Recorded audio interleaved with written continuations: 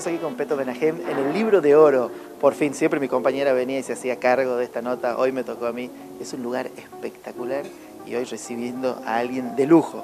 ¿Cómo estás? Bien, el, no, no viene todo. El de lujo no vino, No vino de vine lujo, yo. pero vino Peto. Sí, sí, sí, sí. Pero viste qué linda que es. El linda. libro de oro es, Es es- es una librería hermosa, hermosa. Bueno, La vida perfecta. Sí. Uno de las primeras novelas, segundo libro. La primera novela, eh, sí, el segundo libro, el primero fue el Manual de Antiayuda, hace ocho años, pero esta es otra cosa. El otro era una humorada, digamos, un delirio.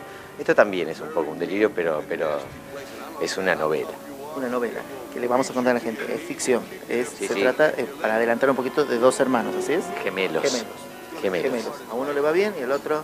Como el orto. Como el orto. Ahí está. Listo. Sí. Eso lo tenía que decir. Sí, porque Bueno, yo, y- vi a la mañana que te gustó esa me gustó esa palabra, sí, me gusta esa palabra. Mando la expresión, pero claro, porque viste, tiene su peso, viste, no es, le va mal, no, Como el orto. ¿Tiene un buen final? ¿Abierto? Ay, hay que leerla. Tiene las dos cosas. No te- cuando la leas vas a saber, sí, tiene un buen final, tiene el final que merece esa historia. Bien. En ese sentido es un buen final. La Eh, ilustración de la tapa me llama la atención. Viste, a mí Sí. también me gustó mucho. Bueno, en realidad le puse mucha onda a eso porque eh, a mí me parece que a, a mí me gustan mucho los libros. Realmente son, son cosas eh, muy queridas para mí desde chico. Y yo no puedo dejar de ver un libro como un objeto. Más allá de que es algo que contiene unas palabras que te cuentan una historia, es un objeto.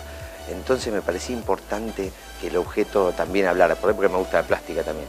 No solo desde la tapa, sino también cuando elogias. Por ejemplo, eh, hay momentos donde yo siento que hace falta diálogo, más allá de la trama.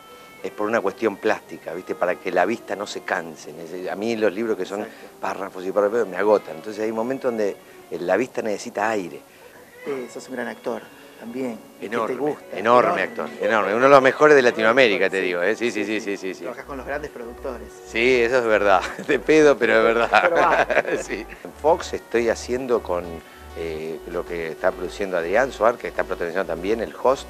Eh, eso sale el 22 de agosto y está muy bien. Eh, son 13 capítulos, yo no estoy en todos porque estoy, estoy grande, me agota hacer tele y teatro.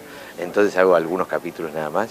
Este, está muy divertido eso, muy divertido y va a ser bastante eh, interesante de ver, muy divertido, eh, muy dinámico y también con unos musicales espectaculares. Y además en el teatro. Teatro, genial. Bueno, para ir terminando, porque ya estamos listos para que comience la charla. ¿Qué te pasó cuando miraste por ese vidrio que después, después nos va a tomar nuestro, nuestra cámara? Que miraste a estos chicos que están en, en estos talleres literarios. Me encanta. ¿Te, te- te gustó? ¿Te, te viste vos así? Me hubiese encantado hacer un taller literario cuando era chico, la verdad. Este, me parece genial. Les dije, era de lujo de un maestro. Bueno, te dejamos ahí, ya comienza. Gracias. Gracias, querido. Gracias.